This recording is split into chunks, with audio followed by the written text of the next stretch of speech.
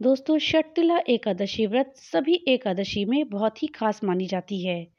धार्मिक ग्रंथों के अनुसार इस एकादशी व्रत से भगवान विष्णु प्रसन्न होते हैं।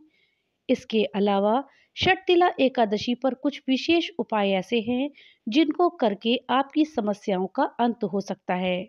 शास्त्रों के अनुसार हर वैष्णव को एकादशी का व्रत ज़रूर करना चाहिए।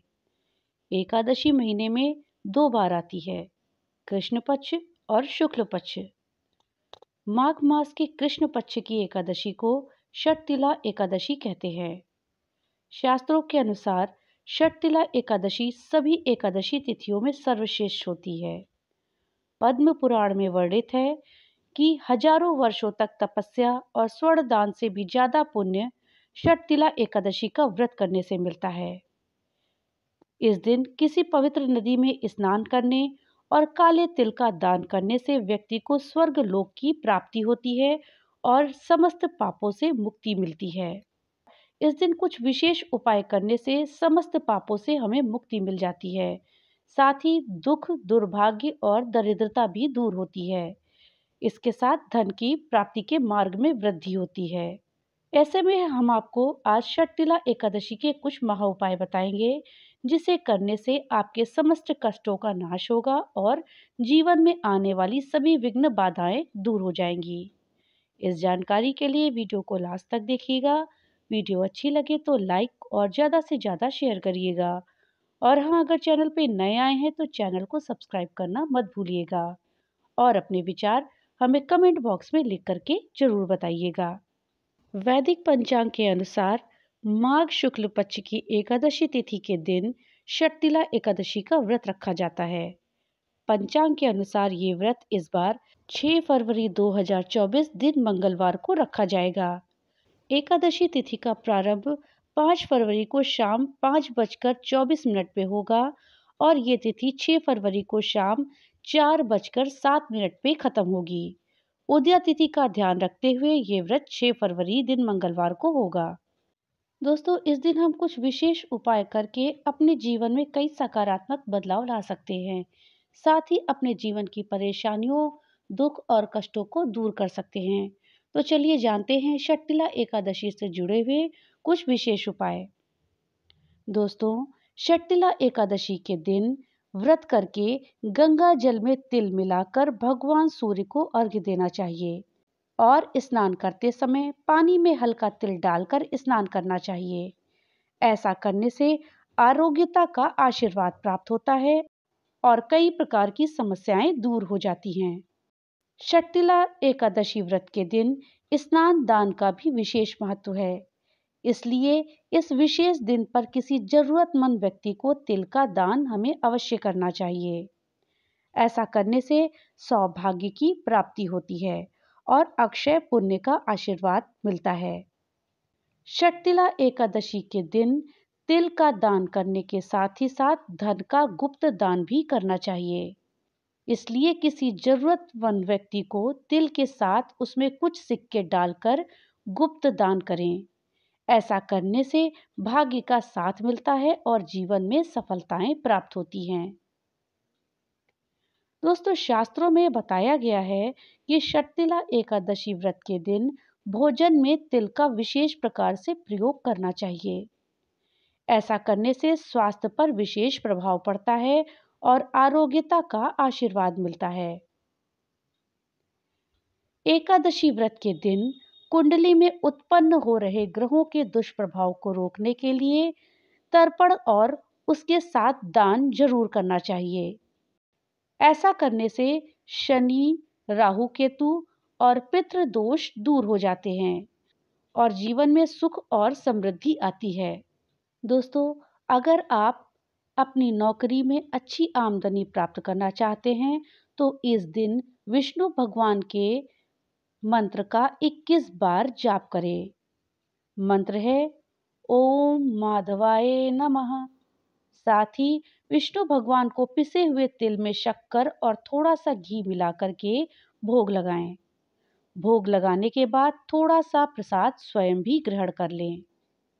ऐसा करने से आपको जल्दी ही नौकरी में अच्छी आमदनी मिलने लगेगी और साथ ही नौकरी में आपकी तरक्की भी होगी। अगर आपकी शादी जल्दी ही होने वाली है और आपका अपना रूप सौंदर्य बनाए रखना चाहते हैं आप आप चाहते हैं कि आप सुंदर दिखें तो इस दिन आपको स्नान से पहले शरीर पर तिल का उपटर लगाना चाहिए। और उसके 20 मिनट के बाद पानी में थोड़े से तिल मिलाकर भगवान विष्णु का ध्यान करते हुए स्नान करना चाहिए। ऐसा करने से शादी में आपका रूप निखर के आएगा। जीवन साथी के साथ अपने संबंधों को यदि बेहतर रखना चाहते हैं तो इस दिन भगवान विष्णु को तिल मिले हुए पंचामृत का भोग लगाएँ। साथ ही उन्हें एकाक्षी नारियल अर्पित करें।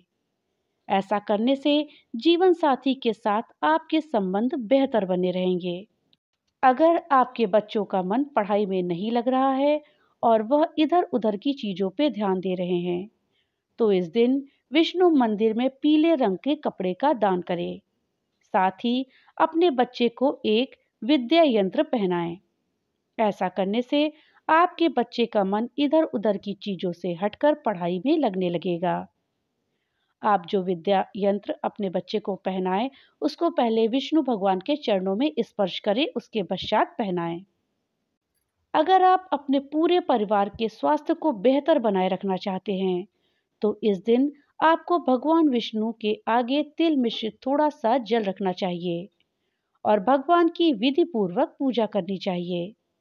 पूजा के बाद भगवान के आगे रखे उस तिल मिश्रित जल को घर के सब सदस्यों में प्रसाद के रूप में बांट देना चाहिए। ऐसा करने से आपके पूरे परिवार का स्वास्थ्य बेहतर बना रहेगा।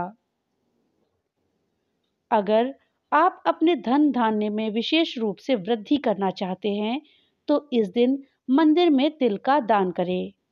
साथ ही विष्णु भगवान की घी की दीपक से आरती करें। ऐसा करने से आपके धन धान्य में विशेष रूप से वृद्धि होगी। अगर आप अपनी हर मनोकामना को पूरा करना चाहते हैं तो इस दिन तिल और गुड़ के 11 लड्डू बना करके मंदिर में दान करें। साथ ही विष्णु जी के मंत्र का 108 बार जप करें। मंत्र है ओम नमो भगवते नारायणाय। ऐसा करने से आपकी हर मनोकामना पूरी होगी। अगर आप अपने संतान के वैवाहिक जीवन में खुशियाँ देखना चाहते हैं तो इस दिन आपको भगवान विष्णु की धूप दीप से पूजा करनी चाहिए। साथ ही उन्हें तिल और उड़द दाल का भोग लगाना चाहिए। ऐसा करने से आपकी संतान के वैवाहिक जीवन में खुशियाँ बनी रहेंगी। अगर आप जीवन में वैभव की प्राप्ति करना चाहते हैं तो इस दिन आपको एक मिट्टी के बर्तन में तिल भरकर ब्राह्मण को दान करना चाहिए। साथ ही उनका आशीर्वाद प्राप्त करना चाहिए। ऐसा करने से आपको जीवन में वैभव की प्राप्ति होगी। शर्तिला एकादशी के दिन ब्राह्मणों को भोजन कराना बेहद ही शुभ माना जाता है। इससे व्यापार फलता फूलता है और ब्राह्मणों को भोजन कराने के बाद उन्हें दक्षिणा ज़रूर देनी चाहिए। परिवार में खुशहाली के लिए इस दिन पीले फूलों की माला बना करके भगवान विष्णु को चढ़ाएँ। इसके साथ ही उन्हें चंदन का तिलक लगाएँ। साथ ही तुलसी दल के साथ भोग लगाएँ। दोस्तों, इस दिन आप अगर अपने जीवन में सफलता प्राप्त करना चाहते हैं तो सूर्योदय से पहले स्नान करके साफ़ वस्त्र धारण करें। और तुलसी के पौधे में थोड़े से तिल चढ़ाएँ। ऐसा करने से सफलता के मार्ग में आने वाली सभी विघ्न बाधाएँ दूर हो जाती हैं और लक्ष्य की प्राप्ति होती है। दोस्तों, अगर आप मनचाहा जीवन साथी पाना चाहते हैं तो इसके लिए इस दिन श्री हरि भगवान विष्णु की विधिवत पूजा करें और पंचामृत का स्नान कराएँ। ऐसा करने से रिलेशनशिप में आ रही सभी बाधाएँ दूर हो जाती हैं और मन चाहे जीवन साथी की प्राप्ति होती है। दोस्तों, यदि आप सालों से सरकारी नौकरी की तैयारी कर रहे हैं, लेकिन परीक्षा में सफल नहीं हो पा रहे हैं तो इसके लिए इस दिन आपको एक खास उपाय करना है। इस उपाय से आपको सरकारी नौकरी जल्द से जल्द मिल जाएगी। दोस्तों, आपको करना यह है कि इस दिन तुलसी के पत्ते ले लें और उन पर हल्दी लगाएँ। जी हाँ थोड़े से तुलसी पत्ते लेकर के आपको उन पर हल्दी लगानी है और उसको फिर भगवान विष्णु को अर्पित कर देना है। ऐसा करने से आपको जल्द से जल्द सरकारी नौकरी में सफलता प्राप्त होगी। तो दोस्तों, ये थे कुछ महा उपाय जो आप शटिला एकादशी के दिन करके अपने जीवन की समस्याओं को दूर कर सकते हैं।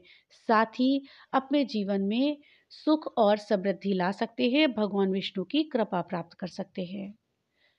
भगवान भोलेनाथ की कृपा आप सब पर बनी रहे। तो मिलते हैं अगली नई वीडियो के साथ। तब तक के लिए राधे राधे